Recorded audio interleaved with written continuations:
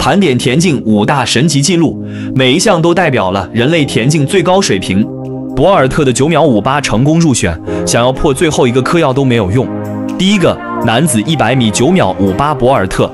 二零零九年柏林田径世锦赛男子一百米决赛，来自牙买加的短跑传奇博尔特以闪电之姿划破了柏林的夜空，将男子百米带入了一个新的时代，完美诠释了何为前无古人后无来者这个形容词，并且从这个成绩创造至今已经过去了十四年。先不说有没有人能打破，连接近这个成绩的人都没有。由此可见，这个成绩的含金量。比赛开始。博尔特的启动和带一，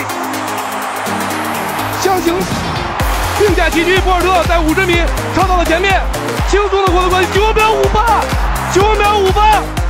第二个男子跳高两米四五，索托马约尔。如果说巴尔西姆和邦达连科是乔戈里峰，那么索托马约尔就是珠穆朗玛。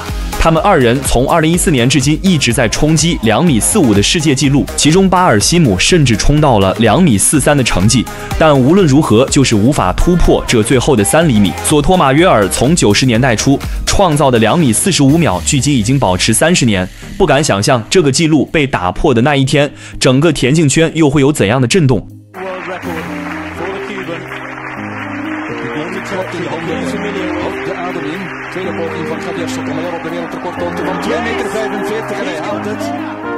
第三个女子铁饼七十六米八零，加布里埃尔赖因施。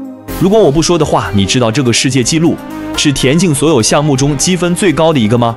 一千三百八十二分的分数排在所有纪录积分榜第一。如果硬要换算的话，这个成绩就相当于百米跑出九秒五零，两百米十九秒零一，一百一十米栏十二秒三七。这么说，是不是屏幕前的各位瞬间就懂了难度有多大？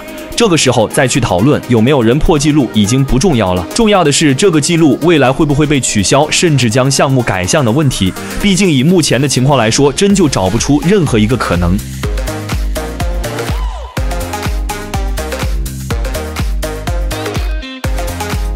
第四个男子跳远八米九五，麦克鲍威尔。关于这个项目的记录，我想应该有很多朋友都知道吧。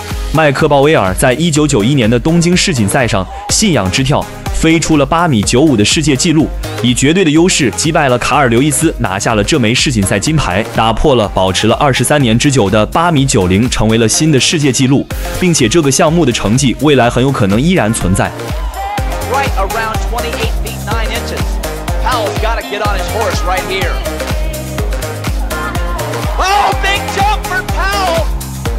第五个男子标枪九十八米四八，泽莱兹尼。这个项目就和标题所说的那样，即使是嗑药了也没办法打破了那种。因为国际田联早就因为他惊人实力，将项目规则改动了，将标枪的重心往后移了一点，让标枪不会飞得那么远，不然很有可能就会出重大体育事故。随机送走一位现场幸运观众。